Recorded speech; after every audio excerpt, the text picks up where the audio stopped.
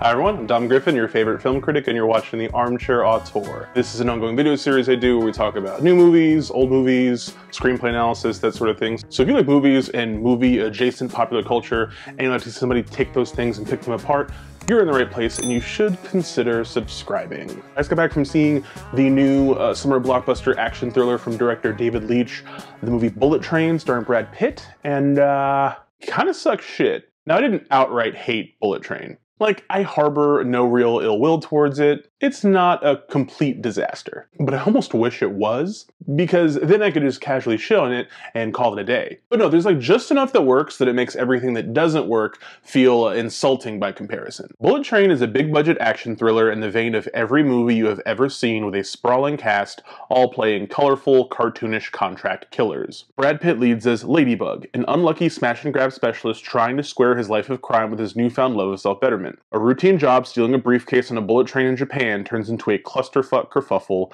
as no less than three other interconnected plots cross over along this exponentially convoluted MacGuffin scramble. There is Bad Bunny as the Wolf, a maniac on a path of revenge, Joey King as the Prince, a young girl who isn't quite what she seems, Andrew Koji as the Father, a man caught in a death trap to save his ailing son, Hiroyuki Sanada as the father's father? And the thrice named duo of Aaron Taylor Johnson and Brian Tyree Henry as Tangerine and Lemon, a pair of brothers safeguarding the briefcase Ladybug is after. There's actually way more players on the board than that in the movie, uh, a lot of characters, and some hit or miss stunt casting, like some phenomenal and some uh, outrageous. When I got to the big bad of the film and I saw the actor who was playing him and how much fun that actor was having, I popped immediately. But that scene comes after another piece of stunt casting, like a little cameo, that made me so mad I wanted to throw my phone at the screen. I was I was viscerally offended. Now I went in expecting this to be at least watchable.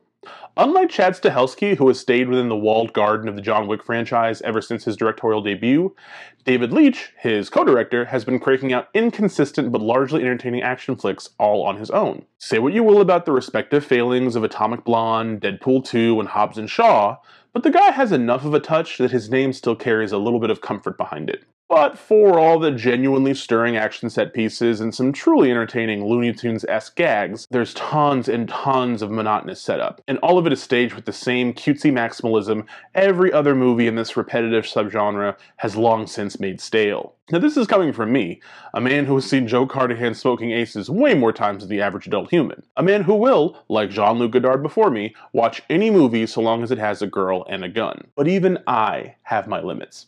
Bullet Train gets cooking in the second act once every character has been established and every Chekhov's gun has been stashed accordingly. At its best, it settles into this really amusing groove as a violent cartoon about fate, luck, karma, and how the endless cycle of vengeance only begets more and more pain.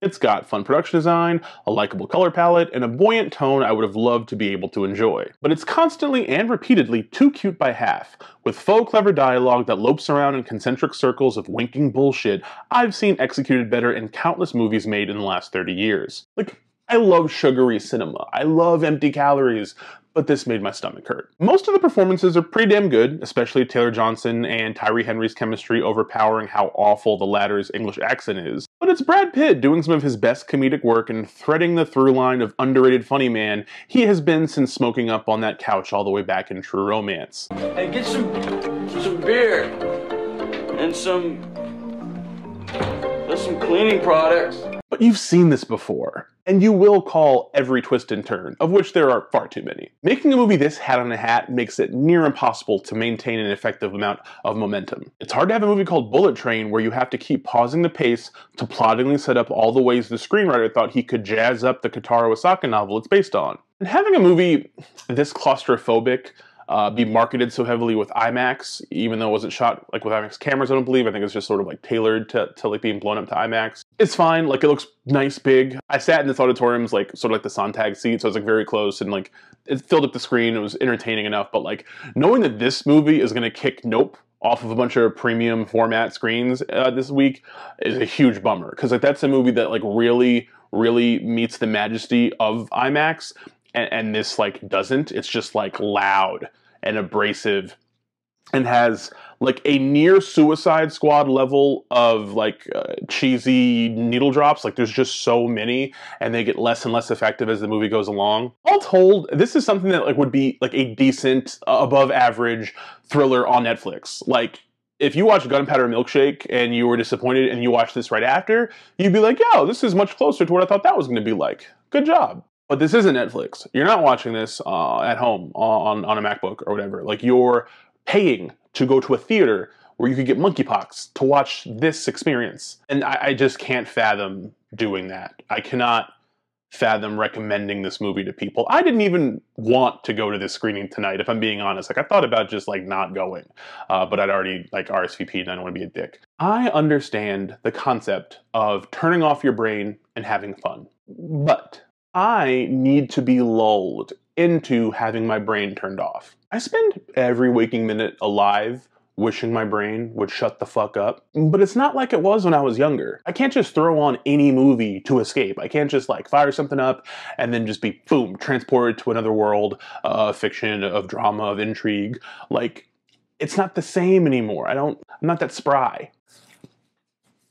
I need a bit of foreplay. You gotta warm me up, man. I, I need a big screen. I need a, loud score. I need uh, captivating characters. I need something. You gotta give me something to make me swallow all the bullshit. Like, if you want me to ignore so many, like, just bad like logic problems, like uncomfortable storytelling, like all these things that like the movie doesn't have, you have to do other things to make me accept that. And this doesn't do that. Like if you want me to turn my brain off for a big dumb movie, gotta ease me into it. You gotta rub my shoulders a bit first, you know? And this movie talks a big game, but when it comes down to business, it just can't get it up. For the record, I think it looks better than like 80% of The Gray Man. I think it's like a more fun movie than The Gray Man. Uh, so there's that going for it, but that's like such a fucking low bar to clear, right? So, Bullet Train. Uh, I don't want to say don't see it because like there's stuff in it that's entertaining enough to where like you could enjoy yourself, but definitely wait till it hits VOD or whatever. Like this is you can watch this, you know, on a Plex server or something. Like there's just no reason to leave the house for it. It is not leave the houseable worthy, you know? Uh, sorry, Brad, uh, and a lot of the people involved. Sorry, Bad Bunny. Sorry, WWE superstar Bad Bunny. Fantastic work. Uh, only six minutes of screen time, but them's the breaks. That's Bullet Train. If you're thinking about going to see it, don't. If you do, tell me what you thought about it. Uh, so that I mean, hey, maybe I'm wrong. Maybe you guys love it. You know, uh, and if you do, I want to know about it. So if you like this video, give it a thumbs up. If you loved it, please subscribe. I'll have new videos out.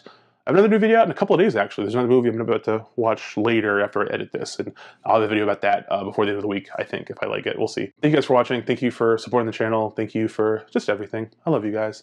Uh, I'll talk to you all soon. Bye.